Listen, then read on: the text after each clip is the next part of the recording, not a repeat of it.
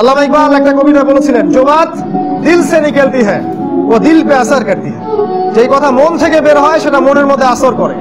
যখন পর্নোগ্রাফিতে আসক্ত থাকবেন, মনটা হয়ে যাবে কলুষিত করাপ্টেড জুলুমান অন্ধকারে পরিপূর্ণ, অশ্লীল, নোংরা চিন্তা ভাবনা সবসময়। এই মানুষ, এই যুব সমাজ কখনো আল্লাহর পথে মানুষকে দাওয়া দিতে পারবে না।